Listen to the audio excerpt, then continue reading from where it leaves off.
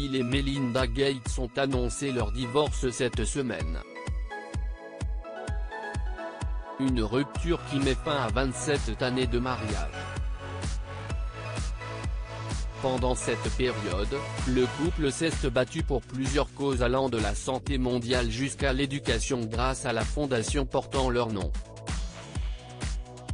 Les Gates ont également travaillé avec Warren Buffett, l'investisseur milliardaire, pour mettre sur pied la fondation The Giving Pledge. Le 3 mai dernier, un dossier de Security and Exchange Commission avait fait état d'un transfert de 1,8 milliard de dollars d'actions à Melinda Gates. Notons que cette société d'investissement du nom de Cascade Investment appartient à Bill Gates. Un transfert conséquent qui comprend 14 millions d'actions de la Compagnie des chemins de fer nationaux du Canada le tout valant environ 1,5 milliard de dollars. 2,9 millions d'actions autonation faisaient également partie du lot d'une valeur de 309 millions de dollars.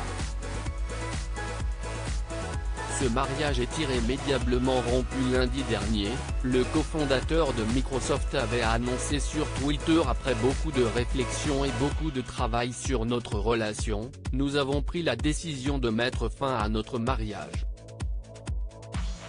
Au cours des 27 dernières années, nous avons élevé trois enfants incroyables et bâti une fondation qui œuvre partout dans le monde pour permettre à tous de mener une vie saine et productive, a-t-il continué.